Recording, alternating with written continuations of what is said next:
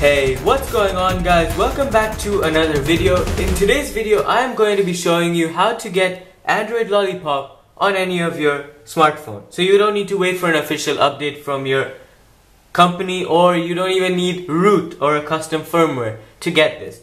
All you need is a few megabytes of data on your phone, that is internal data.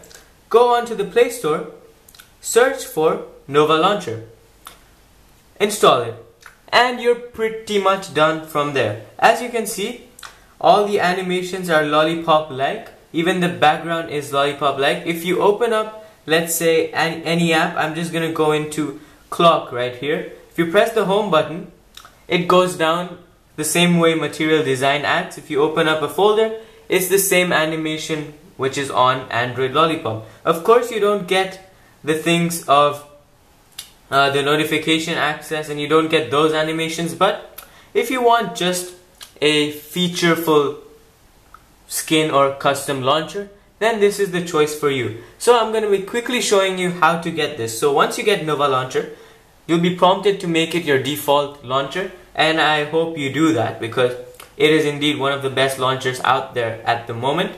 Then all you have to do is jump into Nova settings right here.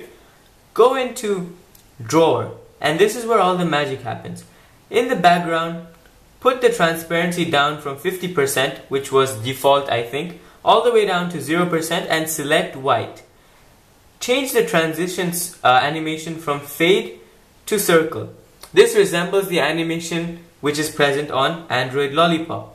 And from there on you are pretty much set. If you want to enhance the feel and look more, you can go onto the icon theme select lollipop as your icon pack and app animation you can slide up. That is L developer preview. Select that to make it even more lollipop themed. And after that you are pretty much done. You get the same animations that you get on Android Lollipop and you get the same material design UI look. There we go. So that was it. A quick little video on how to get Android Lollipop on any smartphone right here. Of course, this isn't an official Android Lollipop update, but it'll do until you wait for an update. So for my phone, I'll be rocking this for the next 70 days or so. Hopefully HTC stick to their promise of delivering Lollipop very soon. But that's been it. Thank you guys for watching.